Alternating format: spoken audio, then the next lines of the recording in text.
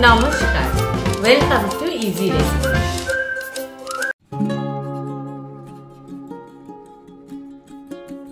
ম্যারিনেশনের জন্য আমি দু চামচ ডার্ক সয়া সস দিচ্ছি। ডার্ক সয়া সস না থাকলে এমনি নর্মাল সয়া সসও ইউজ করা যাবে।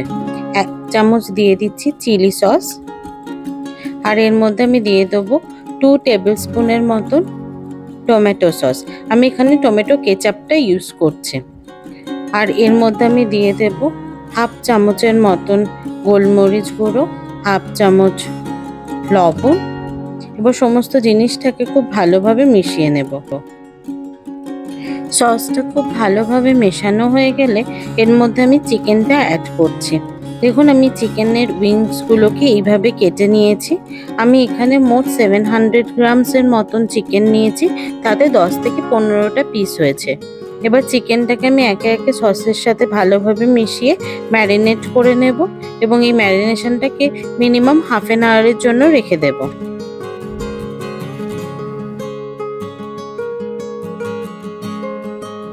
ম্যারিনেট করার সময় একটু খেয়াল রাখতে হবে চিকেনগুলো যেন হাড় থেকে কোনোভাবেই খুলে না যায়, তাহলে কিন্তু শেপ দিতে খুব অসুবিধা হবে। দেখুন আমার চিকেনটা খুব ভালোভাবে মাখানো হয়ে গেছে, এবার আমি এটাকে রেখে দেব। ব্যাটারের জন্য আমি এখানে তিন চামচ ময়দা নিয়ে নিচ্ছি। আর এর মধ্যে আমি দিয়ে দেব টু টেবিল স্পুনের মতন কর্নফ্লাওয়ার। কর্নফ্লাওয়ার যদি না থাকে, সেক্ষেত্রে কিন্তু চালের গুঁড়োটাও খুব ভালো কাজ দেয়। আর দিয়ে দেবো পরিমাণ মতন লবণ আর হাফ চামচের মতন চিনি। এর মধ্যে একটা ডিম আমি ভেঙে দিয়ে দিচ্ছি। ও সমস্ত জিনিসটাকে খুব ভালোভাবে প্রথমে মিশিয়ে নিতে হবে।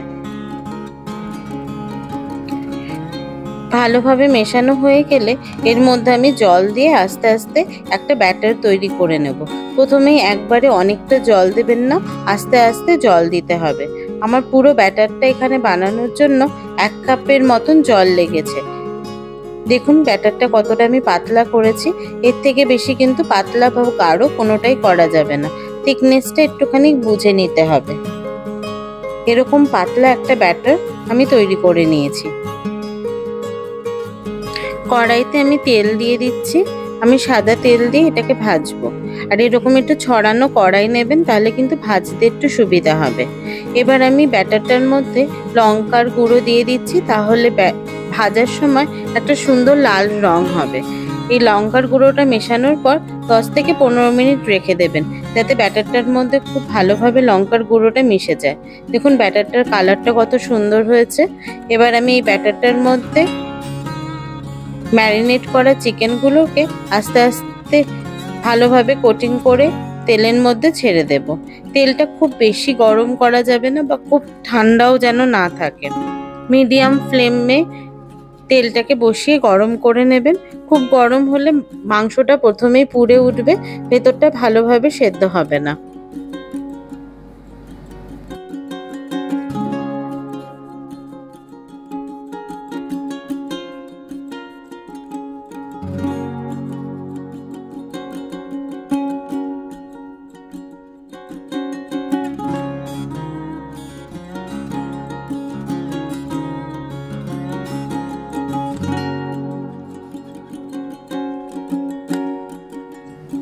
মাংসগুলোকে এক সাইড হয়ে যাওয়ার পর উল্টে আরেক সাইড ভেজে নিতে হবে। খুব বেশি নাড়াচাড়া করলে কিন্তু হাড় থেকে মাংসগুলো আলাদা হয়ে যাবে। দেখুন, একটা সাইড আমার ভাজা হয়ে গেছে, এবার আমি উল্টে আরেকটা সাইড ভেজে নেব। একটা সাইড ভাজতে কিন্তু পাঁচ থেকে দশ মিনিটের মতন টাইম লাগবে। এভাবে আমি সমস্ত মাংসগুলোকে একে একে ভেজে নেব।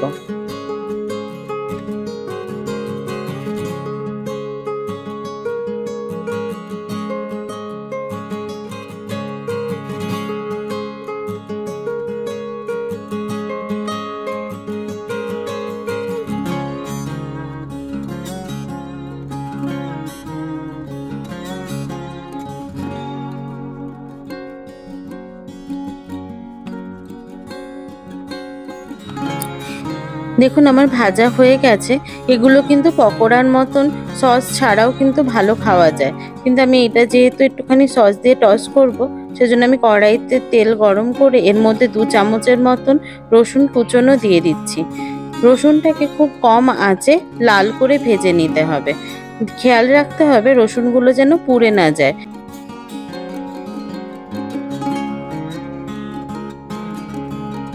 রসুনটা লাল হয়ে ভাজা হয়ে গেলে এর মধ্যে আমি পরিমাণ মতন কুচনো লঙ্কা দিয়ে দিচ্ছি।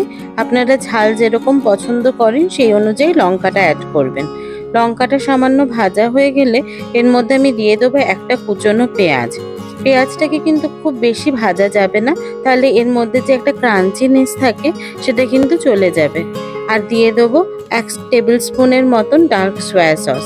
আর দেবো এর মধ্যে টমেটো সস আমি এখানে চিলি টমেটো সসটা ইউজ করছি বলে আলাদা করে চিলি সসটা আমি আর ইউজ করব না। আমি এখানে টু টেবিল স্পুনের মতন টমেটো সস দিয়ে দিচ্ছি। এবার সমস্ত জিনিসটাকে খুব ভালোভাবে মিশিয়ে একটু ভেজে নেব।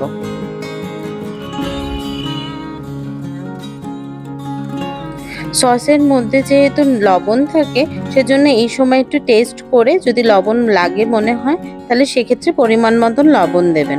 আর দিয়ে দেবে এর মধ্যে চিনি।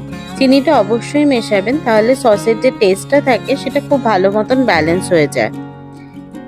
এবার ফ্লেমটাকে অফ করে আমি চিকেনটার মধ্যে এই সসটাকে মাখিয়ে নেব। আপনারা যখন সার্ভ করবেন, তার আগে এই সসটার সাথে চিকেনটাকে টস করবেন। আগে থেকে টস করে রাখলে কিন্তু চিকেনের যে ক্রাঞ্চি ভাবটা থাকবে, সেটা কিন্তু অনেকটা নরম হয়ে যাবে, খেতে ভালো লাগবে না। জন্য সসটা সেপারেট বানাবেন। তারপরে চিকেনটাকে যখন সার্ভ করা হবে, তখন আপনারা চিকেনটার সাথে এই সসটাকে টস করে নেবেন। আর অবশ্যই মনে রাখবেন ফ্লেমটা যেন বন্ধ থাকে। দেখুন, আমি কিছুটা পরিমাণ চিকেন দিয়ে প্রথমে ভালোভাবে মিশিয়ে নিচ্ছি, তারপর বাকি চিকেনগুলো নিচ্ছি। এভাবে পুরো চিকেনটার সাথে আমি সসটাকে খুব ভালোভাবে মিশিয়ে নেব।